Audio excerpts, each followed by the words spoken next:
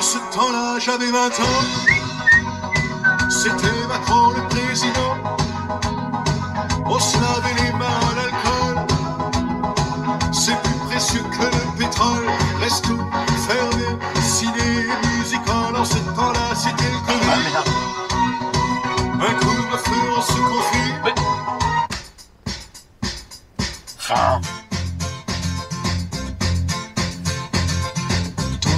Les matins, on attendait le vaccin du corona. Oh non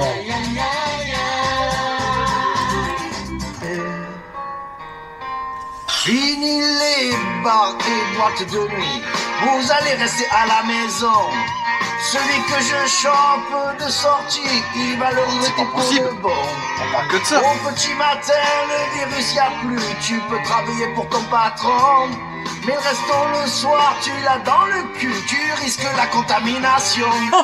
Mes bien chers frères, mes bien chères sœurs, on va prendre des antidépresseurs. On se rue sur n'importe quel remède dément. L'OMS a été obligé de préciser que l'urine d'enfant et la cocaïne n'aidaient pas à lutter contre le virus. C'était des rumeurs sur le net. Hein, certains disaient à leur gosse, vas-y Théo, urine sur papa, pendant ce temps-là je me fais une ligne. quoi Reconfinement, y a comme un sentiment de lassitude.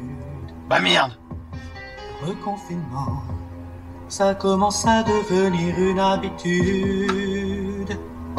En ce moment, ça y est, dans tous les médias, on l'annonce chaque jour des nouveaux cas. À Paris, dans le sud, ou bien en Savoie, c'est le corona.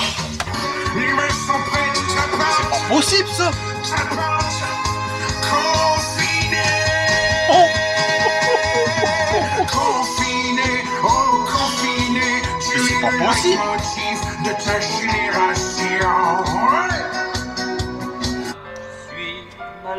Oh non. Oh la v'là lui. C'est pas possible. Oh j'en ai marre. J'en ai marre. Si toi aussi t'en as marre d'entendre des conneries là sur le corona machin là, à la radio, partage cette vidéo.